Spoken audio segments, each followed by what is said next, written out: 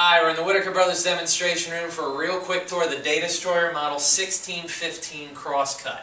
That's a pretty powerful shredder, operates at about 27 sheets per pass, 31 feet per minute, so it's fast and productive. Uh, it dumps it all into a very generous sized waste bin.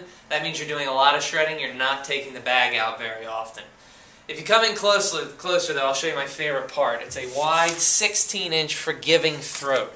We can put paper in forwards, backwards, sideways, diagonal, however we want to. And look at how quickly it disappears. I'll give you a look at what some of the residue looks like. This is Crosscut, a solid level 3. This is what you can expect out of the Datastroyer Model 1615 Crosscut.